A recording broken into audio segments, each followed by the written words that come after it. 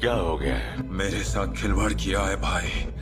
उस कमीने डीजे ने कम ऑन शांत हो जाओ लूसी खिलवाड़ से खाता है लेकिन कहीं उसने तुम्हें सुन लिया तो? अच्छा है। जैन को पता चलेगा कि उसने किससे पंगा लिया है।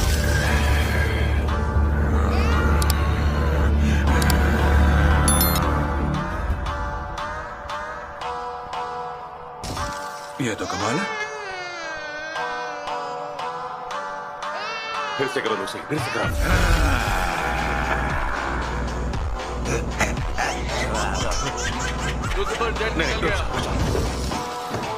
मैं सर्च पार्टी को बुला रहा हूँ। पता नहीं वो कहाँ गया होगा। मैं उसे ढूंढ लूँगा।